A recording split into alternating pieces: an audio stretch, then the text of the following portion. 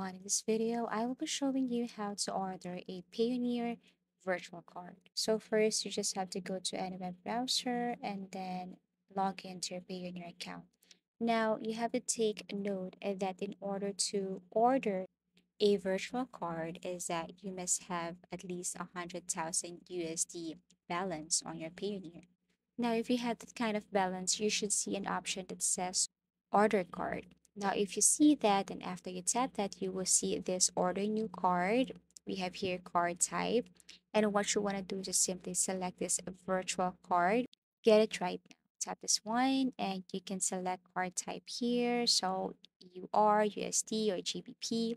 Everything is up to you. So once done or once you have chosen your card type and card currency, you can see this that you have ordered a new card already. So USD card ordered. If you want to order a new card, everything is up to you. You just have to go to Payoneer Cards or bank account. So as you can see here, they are reviewing your order. It usually takes up to three business days when done. We'll send you an email with a link of your virtual card details, and all you have to do is to wait.